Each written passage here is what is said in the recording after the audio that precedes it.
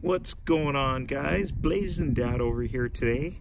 We're going to be replacing the stock seat on my Vespa PX200 with a replacement seat. It's something newer, more modern, and let's show you how that works. In order to replace the seat, you're going to need to remove this bolt, this bolt, and this bolt. And to do that, you're going to need a 13 millimeter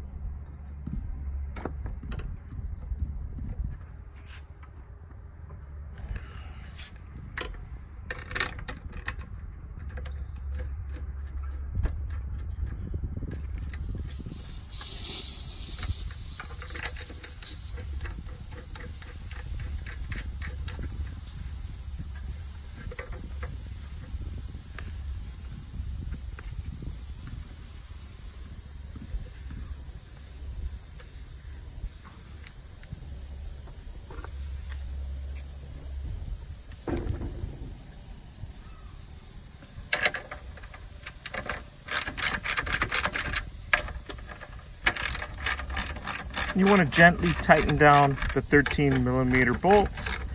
And before you lock it in place, you want to make sure that the seat post right here is going to be able to clear.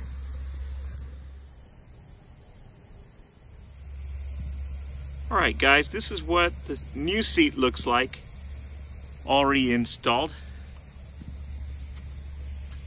It's definitely a lot flatter in the front there's a little bit of a rise there for the passenger to sit on. And uh, I'm gonna try it out and see what I think. We're sporting the Italian colors. All right, it looks really good.